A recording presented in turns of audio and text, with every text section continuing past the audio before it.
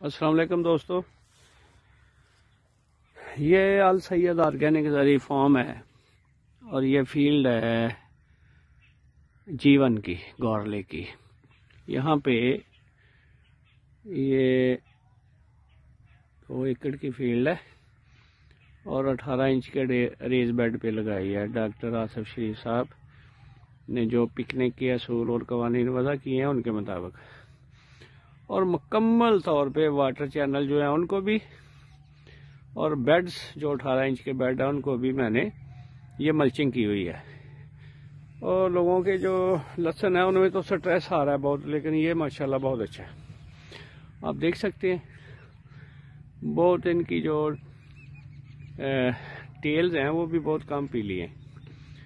तो ये मैं आपको दिखा रहा हूँ। माशाल्लाह।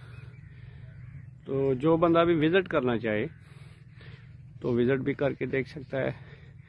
ये जफरवाल से नारवाल रोड पे है ये।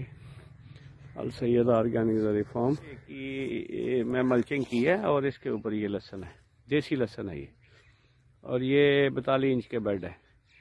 वही डॉक्टर आसिफ शरीफ साहब जिंदाबाद, जिन्होंने हमें इस कदर बेहतरीन तरीका, काश्तकारी का बताया, मल्चिंग के असूल बताए, पिकनिक के असूल बताए, ये देखें, ये बहुत अच्छा है। अभी इस जैसा इधर कहीं भी नहीं है।